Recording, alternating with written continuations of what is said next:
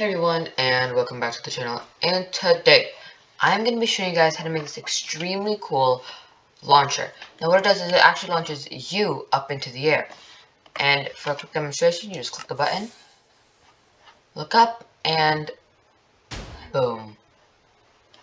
Fly pie and the best part about this is you can invoke your Elytra and fly away into the distance without needing to use any of your rockets for a very good distance.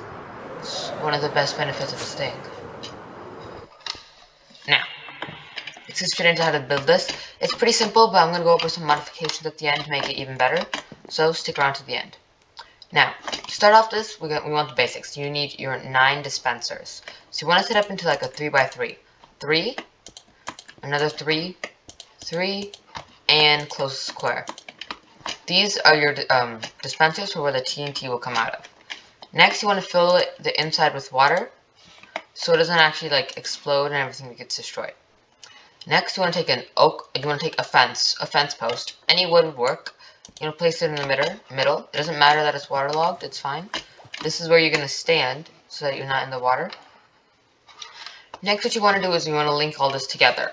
So you want to put a button on one of the dispensers, doesn't matter which one, and then use redstone to connect all the other ones together. Like so. And then go to the corners and fill them in.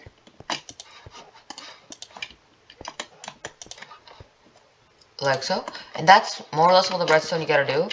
All you gotta do next is fill in the dispensers with some TNT. Alright, and once you've filled up all your dispensers with some TNT, all you gotta do is then click the button. Make sure you have your Elytra on, of course. Click the button, and wait. And bam, you go flying.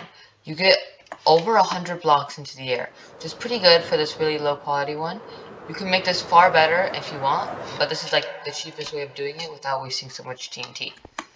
The next thing you do is simply just increase the amount of TNT you're going to put. You could make this square bigger, or what I'd rather do is just increase the amount of TNT each one outputs.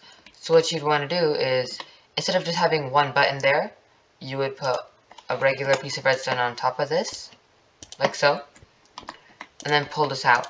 From here, you'd want to add a redstone clock. Now, to make a clock, we're going to use an observer clock, which is really simple. So what you want to do is first place one observer facing towards the redstone, like so. So the red dust, the red dot is at the redstone.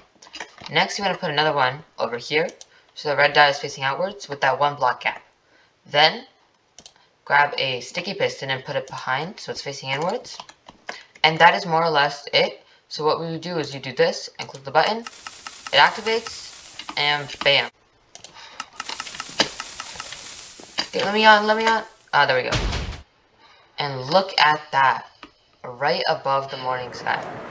Then we fly back down.